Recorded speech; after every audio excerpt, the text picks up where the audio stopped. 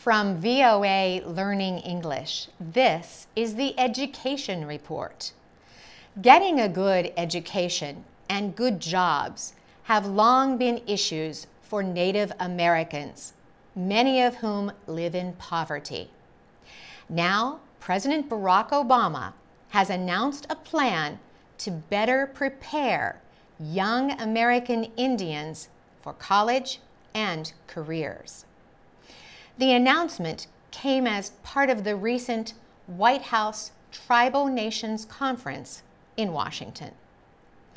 The new plan is called the Generation Indigenous Initiative. It calls for the Department of the Interior to provide $1.2 million to help six more tribes establish and run school systems. It also increases programs for teaching science, technology, engineering, and mathematics, and efforts to keep native languages from dying out. More than 30% of American adults have graduated from college.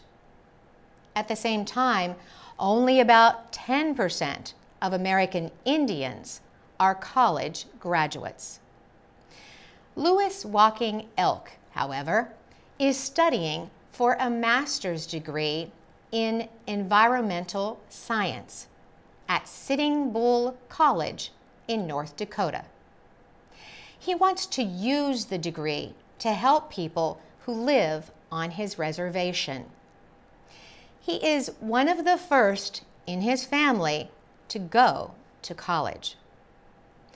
Sitting Bull College is one of more than 30 tribal colleges in the United States. About 300 students are completing their higher education at the school. Laurel Vermillion says many young Native Americans, especially men, are looking for direction and a sense of purpose. Today, 30% of students are male and 70% are female. Scott Davis leads the North Dakota Indian Affairs Commission. He says tribal colleges give hope to young Native Americans of a life of possibilities and escape from poverty. For VOA Learning English, I'm Carolyn Presutti.